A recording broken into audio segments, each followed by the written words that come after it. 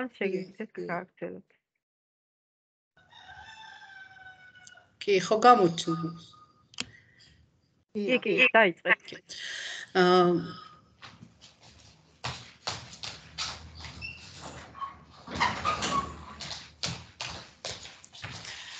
ესე იგი მე ვარ ახმეტის რაიონის სოფელ აწყურის საჯარო სკოლის მათემატიკის წამყვანი მასწავლებელი. ვასწავლი მათემატიკას როგორც დაწყებით მე-5 მე-6 კლასებს, ასევე მაღალ კლასებში და ჩემი ეს მოხსენ პრეზენტაციის სათაური არის ინოვაციების სწავლა სწავლების პროცესში და ნამდვილად ვფიქრობ, რომ კომპლექსური დავალება არის მოსწავლის პიროვნული განვითარების ერთ-ერთი გზა. ნამდვილად და შაშა როცა ერთი წლის წინ კურიკულუმები გავაკეთეთ, ხო, ჩვენ მაშინ აღნიშნეთ, რომ ნამდვილად ვიცოდით, რომ ეს რა მდგომარეობა იყო, COVID სიტუაცია იყო და ვფიქრობდით, რომ ონლაინ რესურსებზე უნდა მოგვერგო რაღაცნაირად გადაგვეტანა ჩვენი კომპლექსური დავალებები და სხვათა შორის ეხლა ვიძახი და რაიონულ კონფერენციაზე როდესაც გამოვედი, მაშინაც აღნიშნეთ, რომ აი ნამდვილად გაამართლა ამ მიდგომამ რაღაცნაირად ჩვენ და სამწუხაროდ ბოლო 2 თვე ნახევარი ჩვენი სკოლა იყო ონლაინ სწავლების რეჟიმზე. იმიტომ რომ რაღაც სტიქიური უბედურება მსახურავი გადახადა შენობას და აი რაღაცნაირად გაგვიმართლა რომ კომპლექსური დავალება ეს ერთი დადებითი მაინც ჰქონდა რომ კომპლექსური დავალება მორგებული იყო ონლაინ რესურსებს. იმიტომ რომ ძალიან რთულია ჩემზე წინ გამოსვლებმა ერთ-ერთმა მომხსენებელმა აღნიშნა, რომ კომპლექსური დავალების შესრულება ონლაინ სწავლების ფორმატში არის უფრო რთული, რადგან რა თქმა უნდა საათებით ცოტა, რასაც მასწავლებელი ატარებს და პირდაპირ სწავლების რეჟიმში უფრო შეიძლება კი კითხვებიც მეტი დაისვას, ვიდრე ასეთი ონლაინ სწავლების რეჟიმში და მომიწია უნდა ვაღიარო, რომ დამატებითი გაკვეთილების ჩატარება, მაგრამ სულაც ვფიქრობ რომ ამან გაამართლა, იმიტომ რომ ჩემთვისაც სიახლე იყო ეს ონლაინ რესურსი და ბავშვებისთვისაც, მაგრამ ძალიან კარგად გაართვეს ბავშვებმა თავი. ესე იგი, შემდეგ რას მოიცავს ახლა ჩემი პრეზენტაცია? პრეზენტაცია, რა თქმა უნდა, შესავალი გავაკეთე უკვე, მე-5 კლასში განვახორციელე ეს შოკოლადის ფილის განაწილება ქვია, მაგრამ ეს განსხვავებული იყო, ესე იგი, მე-5 კლასში განვახორციელე სასწავლო წლის ბოლოს, მაგრამ ჩემზე წინ გამოსვლელ პრეზენტ ჩემს წინ გამოსვლელ პრეზენტატორს ერთ-ერთს ჰქონდა ზუსტად ასეთი სათაურით პრეზენტაცია შოკოლადის ფილის განაწილება, მაგრამ ის იყო ტოლ ნაწილებად, როგორ რამდენნაირად შეიძლება და ტოლ ნაწილებად ნაწილებად გაყოფილიყო და აქ ცოტა ჩვენი კომპლექსური ცოტა სხვა რაღაცას მოიცავდა. რა თქმა უნდა, მიზანი დავსახეთ, როდესაც კომპლექსური დავალება უნდა შეგვესრულებინა, შემდეგ იყო დავალების პირობა გავაცანი ბავშვებს, შემდეგ ნამუშევრი, ესე იგი, სამი კვირა, 2-დან 3 კვირამდე ესეთი შუალედი გქონდა და შემდეგ ნამუშევრები ვიმუშავეთ, ესე იგი, საკლასო სამუშაოები, იყო პერიოდულად გადმოგზავნიდნენ ხოლმე ბავშვები დავალებებს, იმიტომ რომ ელექტრონული რესურსი უნდა გაეკეთებინათ მოეყენებინათ, გამოეყენებინათ და შემდეგ ეს ნამუშევრების უკავშირის შედეგად ხდებოდა მათი დახვეწა და ბოლოს პრეზენტაციაში გააკეთეს ბავშვებმა და შემდეგ ახლა დღეს ჩვენ რომ გავაკეთებთ პრეზენტაციას, მე გვექნება კითხვა-პასუხის რეჟიმი, თუ ამის საჭიროება იქნება. მე მანამდე მინდა წარმოგიდგინოთ სხვა კომპლექსური დავალებები, რომლებიც განვახორციელე მე-5 მე-6 კლასებში და ერთი საერთო რაც აქვთ ამ ყველა კომპლექსურს არის სამიზნე ცნება, რომელიც არის ამ კომპლექსური დავალების სამიზნე ცნება არის ზომა და გაზომის საშუალებები. ეს იყო ყვავინარის დაგეგმარება მაგრამ მაინც ყოველ შემთხვევაში ამ კომპლექსურ დავალებაშიც გამოვიყენეთ აი სურათზე ხემაზე სლაიდზე ხედავთ თქვენ ბავშვების ნამუშევარს რომ იყო აქ რიცხვებთან დამოკიდებულებები იყო რაღაც დასათვლელი იყო ფართობები პერიმეტრები იყო დასათვლელი ჯერ და მე ფართობები. უფრო ზუსტად რომ დავკონკრეტდე ესე იგი მაინკრაფტი როგორც აჩანს ძალიან პოპულარულია და ბავშვებს უყვართ გამოჩნდა ეს სხვა პრეზენტაციებშიც და ესეთი დავალება იყო ეს ყვავილების დაგეგმარება რომ ბაღი უნდა გაეკეთებინათ ყვავილი ყვავილების 4 ბაღი უნდა გაეკეთებინათ სკოლის დროში ბავშვებს და უნდა დაეთვალათ ამ 4 ბაღში სხვადასხვა სახეობის ყვავილები რომ გაეშენებინათ, ყვავილნარი გაეშენებინათ, რა თანხა დაჭirdებოდათ ამისათვის და დირექციისათვის უნდა მიემართათ რომ ეს თანხა გამოიყოთ. აი რაღაც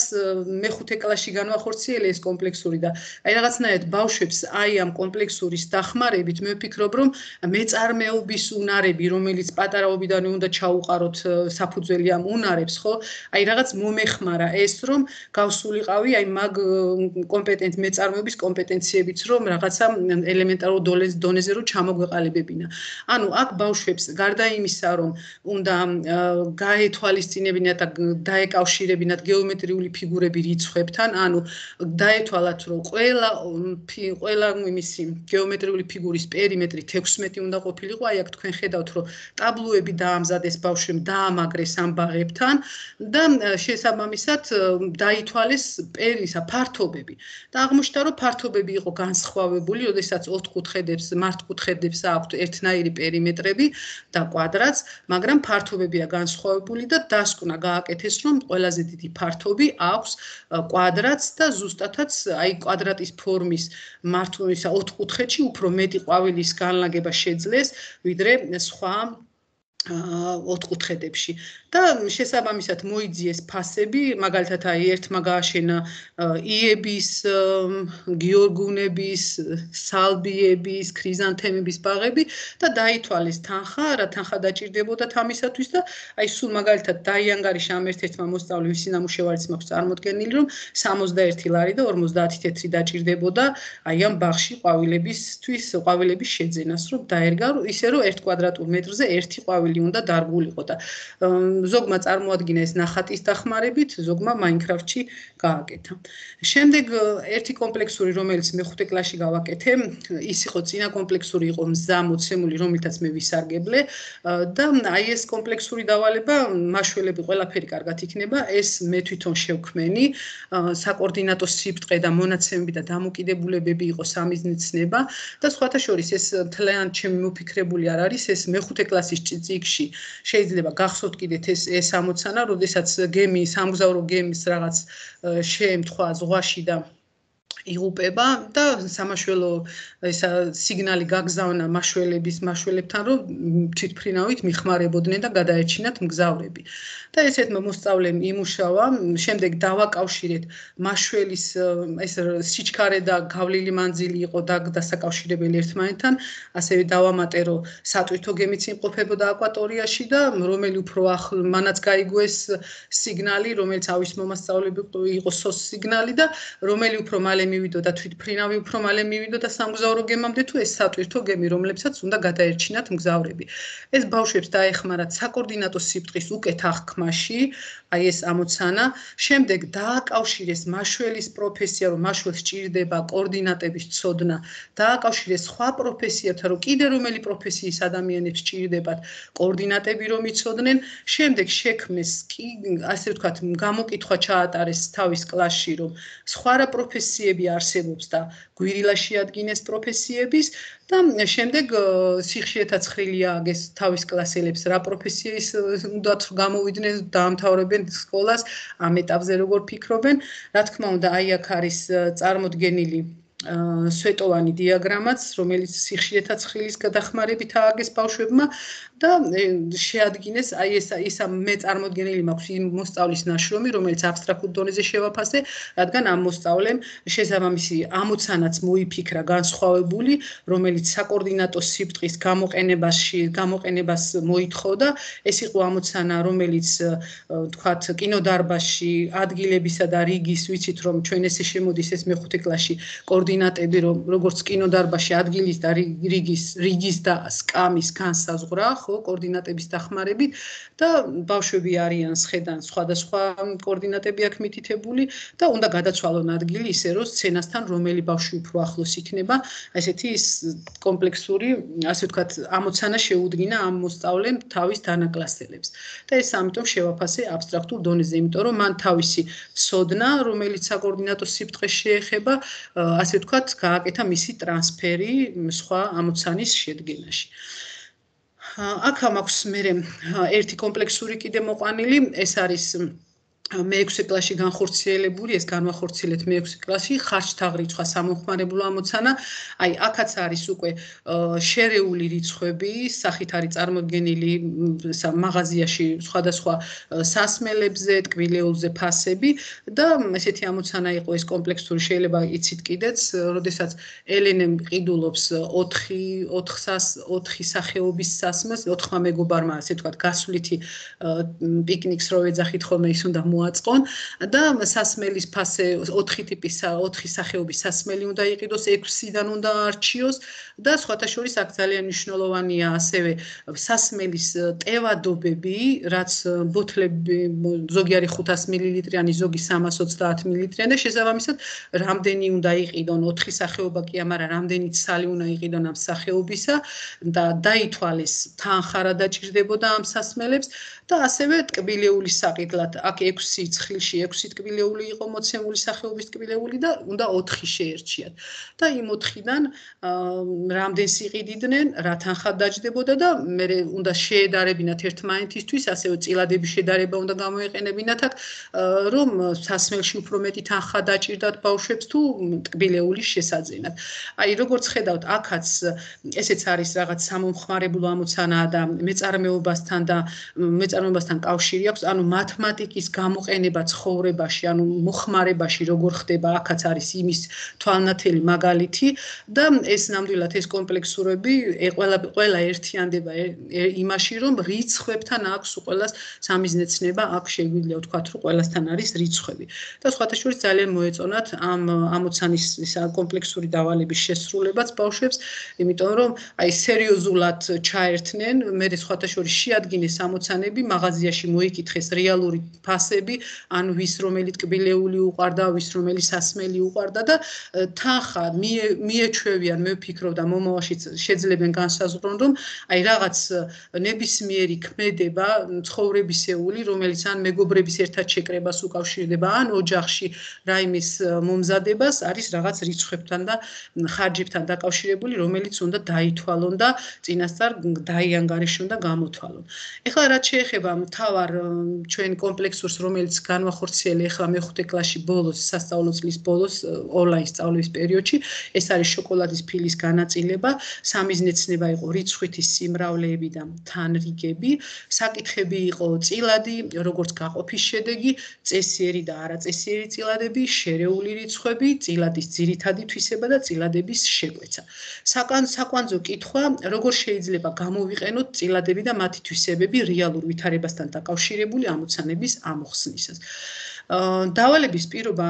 ესეთი დავალება იყო ორი ორი ეტაპისაგან შედგებოდა ეს დავალება. პირველი ნაბიჯი ეს იყო საი საიტზე შესვლა macticon.org რომელიც fractions ესე იგი წილადებთან დაკავშირებით ეს საშუალებას იძლევა აი ეს საიტი რომ ბავშვებმა სიმულაციურად დააკავშირონ ესე იგი წილადები გინდა წრის ნაწილებს სექტორებს ანუ ან მართკუთხედებს და დაინახონ იქ რა ნაწილები ერთმანეთის ტოლი და ეს წილადებით გამოსახონ. ხოლო მეორე დავალება კავშირები უნდა დაედგინათ თელსა და ნაწილში შორის და ვიზუალურად უნდა წარმოედგინათ ეს და სხვათა შორის სკრინები გადაუღეს ამ ბავშვებმა რომ გააკეთეს ესენი და ის სკრინები შევიდა შემდეგ პრეზენტაციაში. ხოლო მეორე ნაბიჯი იყო შემდეგ საიტზე შესვლა fit colorado edu. ჩემ წინ გამოსვლელმა ერთ-ერთმა გამოსვლელმა აღნიშნა რომ ეს საიტი გამოიყენა ოღონდ რესურსი ამ ჩამოტვირთა აი ამ საიტიდან. ბავშვებმა ჩემმა ბავშვებმა ამ საიტზევე იმუშავეს ერთ-ერთ განყოფილებაში სადაც სხვა სხვადასხვა ფორმით მოცემულ წილადებს შორის შესაბამისობები დაადგინეს. უნდა ამოერჩიათ წილადის რიცხვი შესაბამისი ვიზუალური მოდელი, უნდა აიხსნათ და დაესაბუთებინათ რატომ არის ტოლი მოცემული ჩანაწერები. სხვათა შორის ეს წილადები რიცხვის სახით იყო მოცემული და ნახატის სახით და ისინი უნდა შეესაბამებინათ ერთმანეთისათვის. შესრულებული ნახატები შეინახეს და პრეზენტაციისას სკრინები გამოიყენეს იმისი. და უნდა შეედგინათ მსგავსი დავალება უნდა დაეწერათ რამდენიმე ტოლნიშნელიანი წილადი, თითოეულის ვიზუალური მოდელი უნდა წარმოედგინათ და შეედარებინათ ისინი ერთმანეთისათვის. ასევე მოსწავლეებს მე მივეცი პრაქტიკული რჩევები, რომელიც კომპლექსურ დავალებაზე მუშაობისათვის უნდა გამოეყენებინათ და პირველ რიგში რა თქმა უნდა მათ რო დავალებაზე მუშაობა გაამარტივებოდათ, მათ წინასწარ უნდა სწოდნოდათ წილადი როგორც გაყოფის შედეგი, წესიერი და არაწესიერი წილადები განერჩიათ ერთმანეთსაგან, რა არის შერეული რიცხვი, რა რა ეწოდება წილადის ძირითადი თვისება, მისი ჩამოყალიბება და ასევე შეკვეთა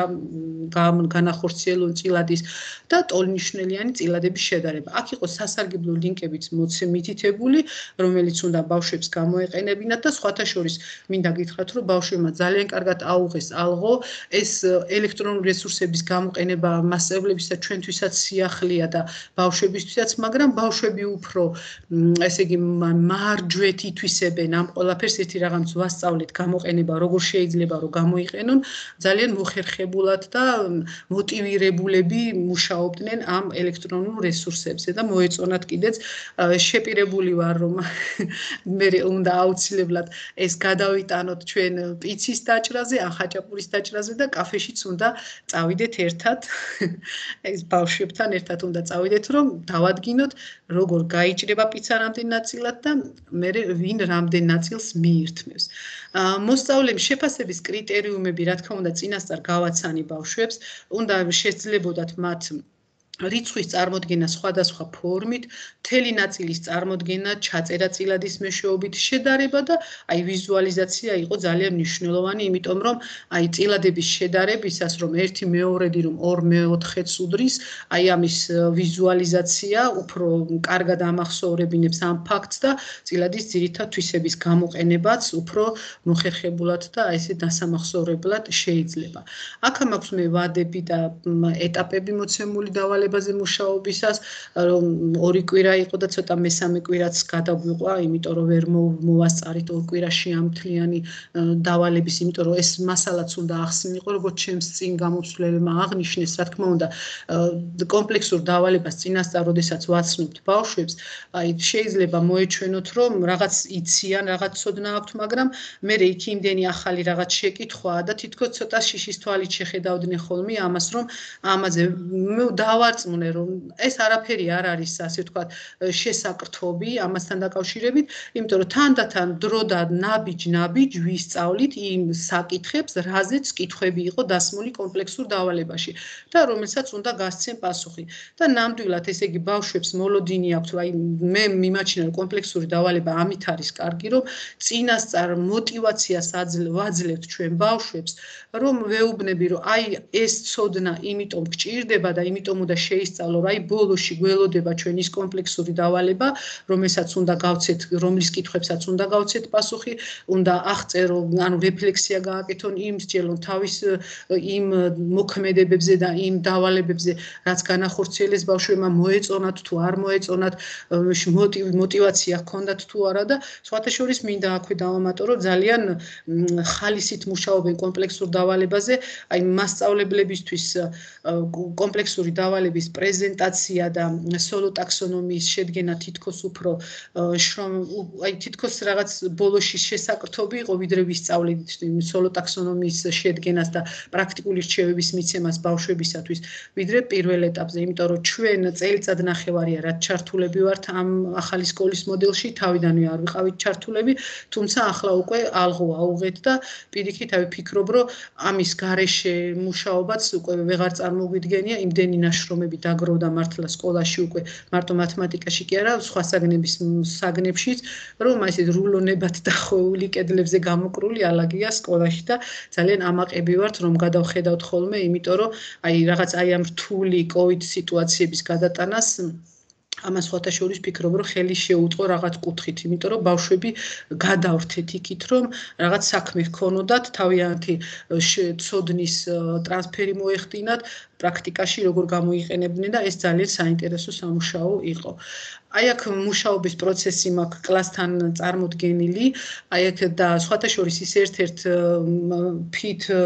კოლორადო ჯეზე რო იყო, ედუზე რო იყო. იქ იყო ასეთი დონეები, 8 დონე იყო და მეხუთე კლასელებს მოეთხოვებოდათ პირველი 4 დონეზე უნდა ემუშავათ. და აი აქ იყო წარმოდგენილი, ნახეთ, დაბლა არის წარმოდგენილი ნაწილები, აი ეს მართკუთხედი დაყოფილია, თქვათ, ორტოლ ნაწილად, სამტოლ ნაწილად, ოთხტოლ ნაწილად და აქედან ვიღებდით თქვათ ერთ ნაწილს, თქვათ ერთ მესამეც მივიტანდით და გვერდზე აი აქ წერია მარჯვენა ხარეს რა წილადი, რა შერეული რიცხვი უნდა მიგვეღო. უნდა მიგვეღო აი მაგათად პირველად 2.1/4 და თუ ზუსტად აქ არ შევიტანდით აი აქ აი ამ ცენტრში არ შევქმნით ზუსტად აი ამ ნაწილებისგან 2.1/4-ს და შეცდომით თუ შევქმნით აქ არაფრით არ ჩაგვასმევინებ და ამ პირველ უჯრაში და ეს ბავშვებს რო აუხსენი აი რაღაცნაირად საშუალებას აძლევს ეს სიმულაცია რომ მოსწავლემ აი კარგად გაიაზროს ესე იგი ნახატის, სურათის და წილადის, ანუ ვიზუალიზაცია მოახდინოს შერეული რიცხვის. და თუ შეცდომას უშვებს, არ არ ჩაასმევინებდა აი აქ და ეს საშუალებას მიხვდებოდა მოსწავლე, რომ ესე იგი შეცდომას უშვებს და მე ვცილობდა მის გამოსწორებას. აი აქ არის დონეები მოცემული და იყო აქ შერეული რიცხვები, ეს მიქსიდ ნამბარო არის და სხვადასხვა აქ აქ წილადის ტოლობებიც იყო, ტოლი წილადების შედარებაც იყო და აი ესე ვიმუშავეთ ხო ერთი წუთი. აი აქ არის ხო ეს დონეებია მოცემული შემდეგ არის ერთ-ერთი აი ეს როდესაც უნდა შერეული რიცხვები რომ უნდა შეგვედარებინა ერთმანეთს აქ უკვე სხვანაირი სიმულაცია იყო ეს წრის ნაწილებით იყო მოცემული და აი ეს მაგალითად 2.3 მეოთხედი ახლა სრულად არ არის ხო? 2.1/4-ია წარმოდგენილი და აკლია კიდე აი აქ დაბლიდან უნდა აღვიღო და შეგვეტანა რომ შემდეგ ეს ჩვენი სურათი ჩაგვესვა აი ამ 2.3 მეოთხედის უჯრაში, ეს შესაბამის უჯრაში. შემდეგ, როდესაც ბავშვები ასრულებდნენ აი ამ წილადების შედარებას, აი მაგალითად, აი აქ მოცემულია 6/3 რო არის 2 მთელი, ან 2 მთელ სამკუთხედს უდრის და აი აქ რო ჩას ეს წინა ნაბიჯია გაკეთებული, აქ რო ჩასვავს, სწორი რო იქნებოდა, შეხქონდა აი აქ და შეატანინებდა. შემდეგ იყო 6-18 და ეს უნდა ბავშვი უნდა გამოიყენოს წილადის ძირითად ბავშვმა გამოიყენოს წილადის ძირითადი თვისება და ეს რო არის 1/3 და უნდა მოძებნოს ნახატზე, სურათზე სად არის შესაბამისად 1/3 შესაბამისი ნახატი და მოიტანოს და აი აქედან დაბლიდან ამოდიოდა ქვემოთა უჯრებიდან აი ამ სასწორის სპინაზე ხაზი დაждდებოდა და თუ ამას ტოლ ტოლებს მიიღებდა ეს უკვე წილადების ტოლობა იყო ეს საკითხი ტოსტ რომ მიიღებ და მე შემდეგ ზევითაუჯი შემდგომ ზევითაუჯრაში ჯდებოდა ეს და ესე მიდიოდა ეს სიმულაცია ესე კეთდებოდა. აი ეს უკვე არის ნამუშევრები, როგორ როგორ შეადარეს და აი ესეთი სმაილი ჯდებოდა, როდესაც ბავშვი სწორად ახდენდა შედარებას და ტოლწილადებს სწორად ჩასვამდა.